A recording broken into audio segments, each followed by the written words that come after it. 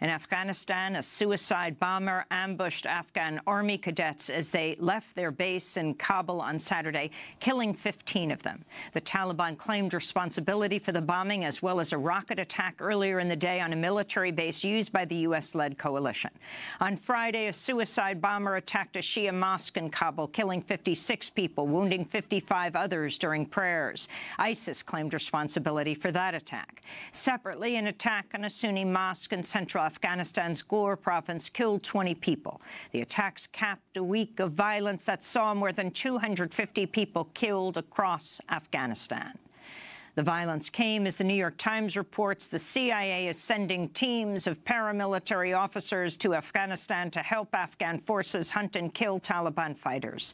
The move signals an expansion of the CIA's role in Afghanistan, where agents previously focused on defeating al-Qaeda and aiding the Afghan intelligence service.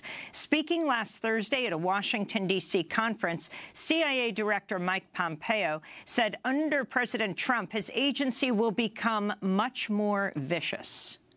We've now laid out a strategy for how we're going to execute our mission with incredible vigor. We're going to become a more, much more vicious agency in ensuring that we're delivering this work. We're going to go to the hardest places with some of the hardest people in our organization to crush it. And when we do that, the president has promised that he will have our backs and that he will resource us.